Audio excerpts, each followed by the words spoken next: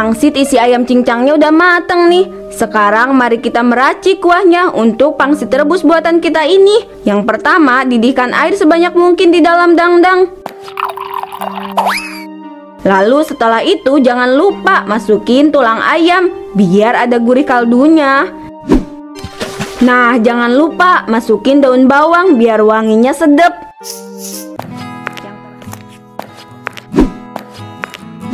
Lihat nih sayang, kamu harus tahu kalau hari ini aku masakin masakan yang spesial buat kamu.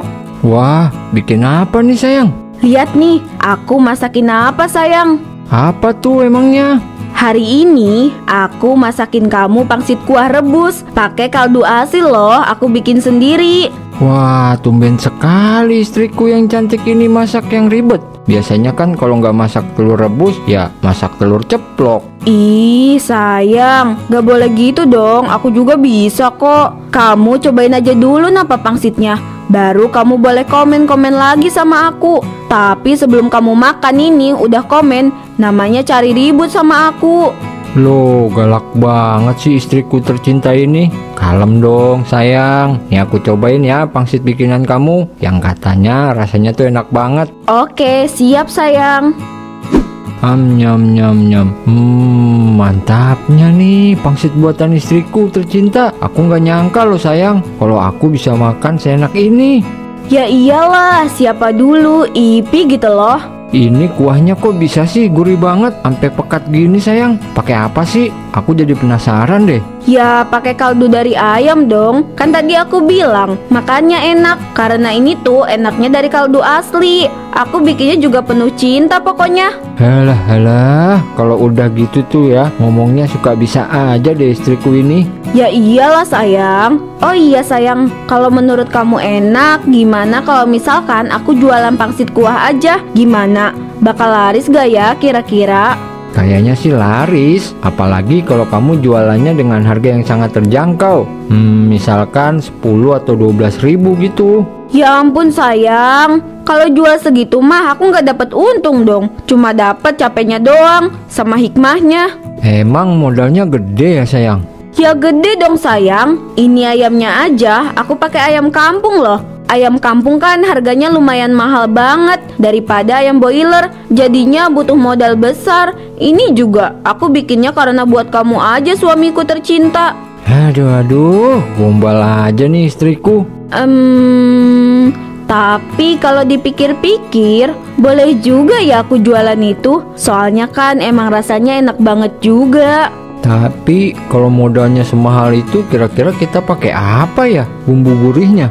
Kalau pakai ayam kampung kan nggak mungkin sayang. Nanti harganya malah kemahalan. Eh, iya juga ya. Ya udah kita pikirin lagi nanti aja ya masalah itu. Sekarang mah yang penting suami aku suka sama masakan aku. Hehehe. Ya jelas suka dong sayangku. Tapi dipikir-pikir mah emang kayaknya aku jualan juga deh Kan lumayan uangnya Bisa dipakai buat tambah-tambah tambungan kita beli mobil Soalnya kan kita belum punya mobil Mending kamu pikir-pikir aja dulu. Kalau kamu udah mantap artinya mau jualan pangsit, kamu bilang sama aku ya. Nanti biar aku bantuin deh. Makasih ya sayangku, aku seneng deh Walaupun kamu baru berniat buat bantuin aku Hehehe, aku udah seneng banget deh Harus dong kalau kamu punya usaha, aku kan selalu mendukung kamu. Soalnya selama ini juga aku kalau melakukan hal apa pun selalu kamu dukung. Ya udah, aku ke depan dulu ya. Mau istirahat dulu nih. Waktunya beres-beres deh Oi, oi, Sipit, mau ke mana kamu Sipit? Mau ngapain? Haya, Pak RT, Oe mau pergi ke rumahnya dukun men ah. Lu orang mau ke mana itu? Kenapa lu orang bawa-bawa ikan ah? Ih, ini tuh hewan barunya Pak RT. Namanya siapa ya? Lupa. Saya belum kasih nama siapa ya? Haya, Oe aja yang kasih nama Pak RT. Oe kasih nama Sugeng aja. Bagus kan Sugeng? Gak, ah, saya nggak suka namanya Sugeng. Saya mau kasih nama William aja. Bagus gak William? Haya, kebagusan itu ah namanya Pak RT. Ikannya aja jelek, masa namanya William? Ih, jelek banget. Sirik aja ih kamu sipit Ya terserah saya dong mau kasih nama siapa Ini kan ikan saya Kok kamu yang ribet sih Ih, Ngeselin banget uh. Terserah lu orang aja. Oe mau ke rumah dukun men dulu. Ada yang halus Oe omongin soalnya sama dukun men ah. Saya ikut boleh nggak? Soalnya saya juga gabut nih Ucin. Gak tau mau ke mana dan gak tau juga mau ngapain. Ya udah, kalau lu orang mau ikut ayo. Tapi lu orang jangan bikin Oe lepot ah di sana. Aman Ucin. Eh, si Ucin sembarangan aja ngomong. Eh, emangnya saya menyusahkan apa ya? Padahal kan Pak gemoy. Mana pernah Pak menyusahkan orang lain? Lu orang seling juga. Hehehehe. Emang mau ngapain kamu ke rumahnya dukun men Ucin? Oe mau ngomongin soal masjid ah. Takutnya itu masjid nanti ada kerusakan atau ada hal-hal yang dibutuhkan. Soalnya kan selama Ustadz Men nggak ada, Oe yang bakalan handle lulusan masjid di sini. Oh gitu ya, yaudah yaudah, ayo kita berangkat ke rumahnya dukun men. Ayo berangkat ah.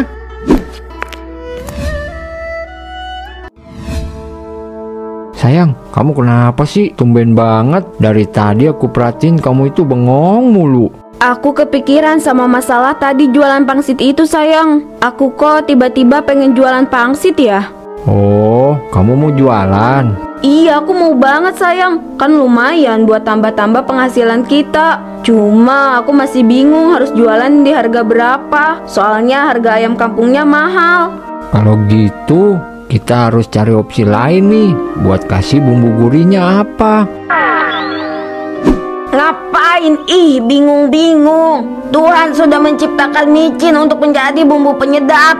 Loh, siapa kamu? Aku adalah Mak Lampir, sang penguasa dunia. Aku ingin memberi kamu saran tentang jualan yang akan kau laksanakan itu. Kamu bisa kok menjual pangsit dengan harga murah, tapi masih dengan kuah yang sangat gurih. Gunakan saja micin sebanyak-banyaknya. Tapi kan micin gak sehat, apalagi kalau dipakainya berlebihan, bisa saja menimbulkan penyakit. Kenapa kamu peduli banget? Lagian juga kan bukan kamu yang makan kuahnya, tapi orang lain. Iya juga ya.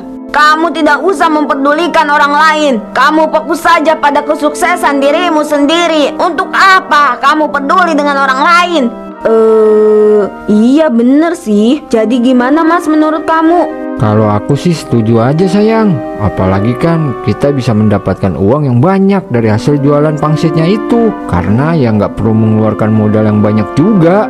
Kalau begitu, makasih ya Ma atas sarannya. Kami akan melakukan saran dari emak. Bagus, aku suka jika arahanku didengarkan. Selamat datang di sekte kesesatan dan bersiaplah dengan kekayaan yang akan kalian dapatkan. Sayang, hayu kita harus langsung belanja ke pasar sebelum semuanya kehabisan. Iya sayang, pokoknya aku akan memberikan dukungan penuh sama kamu biar kamu bisa menjalankan bisnis kamu ini. Makasih ya sayang. Ya udah sayang, hayu kita pergi ke pasar.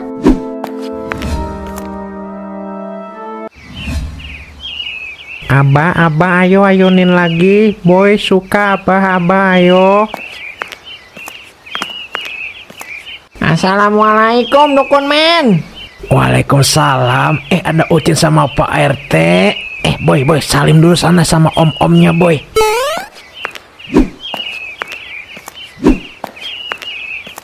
Ada apa nih tumben banget ke sini? Ayah dukun men, Oe mau ngomongin masalah di masjid ini ya. Apa ada kekurangan? Aduh nggak boleh di sana aja yuk, panas di sini mah.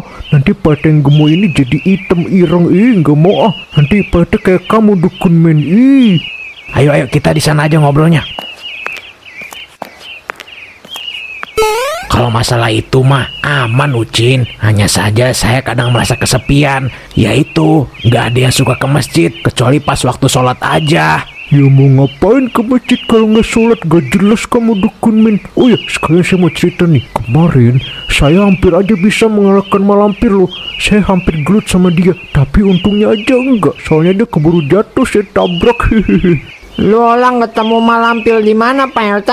Di sana loh di jalanan Ini beneran gawat PRT harus hati-hati ya Soalnya si malampir itu bisa kapan saja balas dendam loh Tenang aja tuh gak usah pada panik Pak RT kan keren Ayah ya kalian, tapi cengeng. Hahaha. Pangsit isi ayam cincangnya udah mateng nih. Sekarang mari kita meracik kuahnya untuk pangsit rebus buatan kita ini. Yang pertama, didihkan air sebanyak mungkin di dalam dangdang. Lalu setelah itu jangan lupa masukin tulang ayam biar ada gurih kaldunya. Nah, jangan lupa masukin daun bawang biar wanginya sedap. Yang terakhir jangan lupa masukin cabe biar pedes. Nah, biar ada rasanya, jangan lupa kita masukin garamnya. Kalau nggak dikasih garam nanti hambar. Gitu aja racikan kuahnya? Ya enggak dong. Kalau gitu doang mah nggak ada spesial-spesialnya dong. Jangan lupa tambahin micin sekarung biar gurihnya maksimal. Pokoknya biar sedep deh.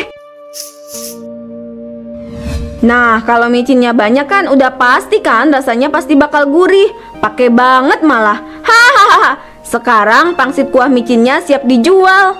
Sayang, semuanya udah siap. Sekarang tinggal jualan aja. Ya udah, kalau gitu, ayo kita jualan di depan. Wah, Mbak Ipi jualan apa nih? Baru tahu saya kalau Mbak Ipi jualan. Saya emang baru jualan hari ini sih, makanya baru pada tahu kan saya jualan. Nih, saya jualan pangsit rebus kuah kaldu. Ini mah makanan sehat. Saya aja bikinnya pakai kaldu asli ayam kampung. No MSG MSG pokoknya mah sehat. Wah, pantas aja wanginya sampai semliwir ke mana-mana. Ternyata gunakan kaldu ayam kampung toh. Iya, makanya pesen deh. Ya udah, saya mau beli satu porsi yang makan di sini. Oke, siap. Sebentar ya, saya siapkan dulu.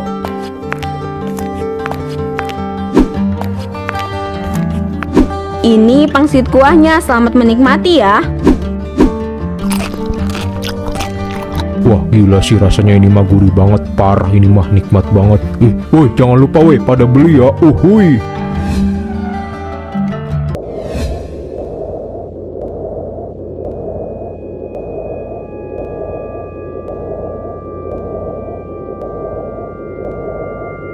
Eh, hehehe, lihat saja RT bodoh.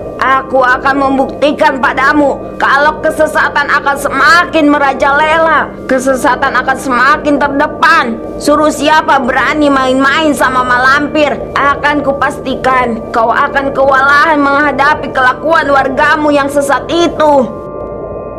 Hahaha, sayang, aku seneng banget deh. Baru pertama kali loh aku bisa pegang uang sebanyak ini. Iya sayang, ini mah hasil dari jualan pangsit rebus mecin kita di luar ekspektasi. Hasilnya ternyata sebanyak dan sebludak ini. Hahaha. Ini mah gak usah lama-lama, sebulan juga udah pasti bisa kita kebeli mobil sayang. Iya bener, apa aku resign kerja aja ya? Biar aku bisa full bantuin kamu. Jadi jualannya juga bisa dari pagi sampai malam. Biar uang kita cepet banyak sayang. Nah, ide bagus tuh. Makasih ya sayang, kamu udah dukung bisnisku ini. Aku sayang kamu. Ini tenggorokan saya kenapa ya dok? Kok makin hari rasanya makin sakit. Apalagi kalau dipakai nelen makanan. Uh, sakitnya bukan main. Sebentar ya pak, saya periksa dulu. Loh, bapaknya ini penyuka micin ya. Ini mah bapaknya tenggorokannya infeksi karena terlalu banyak makan micin. Bahkan amandelnya juga membesar nih, Pak. Oh, enggak dok. Soalnya saya healthy banget. Saya aja cuma jajan pangsit rebus menggunakan kaldu ayam kampung. Jadi udah pasti sehat. Tapi ini berdasarkan hasil pemeriksaan saya menunjukkan kalau bapak itu sakit karena micin. Mungkin penjualnya hanya mengaku-ngaku jika itu kaldu ayam kampung, padahal sebenarnya itu micin. Oh, iya juga ya. Yaudah dokter, saya mau labrak dulu orang yang jualannya ya. Kalau gitu caranya mau nggak beres. Masa iya jualan pakai micin berlebihan? Oh, ternyata benar kalau mereka jualan pangsit kuahnya pakai micin yang sangat berlebihan. Aku harus samperin mereka. Ini yang katanya jualan pakai kaldu ayam kampung asli, rupanya pakai micin sekarung. Kalian tahu nggak sih gara-gara kalian saya kena infeksi tenggorokan. Oh, oh, tenggorokan saya sakit. Oh, kalian tunggu sini ya. Oh, saya akan laporkan kalian semua sama Pak RT. Sayang, kita harus pergi dari sini sekarang juga. Aku nggak mau kalau sampai dilaporin ke Mang Lisi, sayang. Aku nggak mau. I i iya sayang, ayo kita harus pergi sekarang juga. Sayang, ayo dong ngebut lagi ah. Aku takut loh, nanti kepergok sama orang-orang itu. Iya, ini juga aku ngebut kok. Sayang, awas sayang, awas. Ah, tidak. Loh sayang, tunggu. Itu kenapa leher kamu panjang banget? Hah? Sa- sayang, leher kamu juga sama loh, panjang banget. Enggak, aku nggak mau sayang. Aku nggak mau jadi kayak gini. Sayang, tunggu.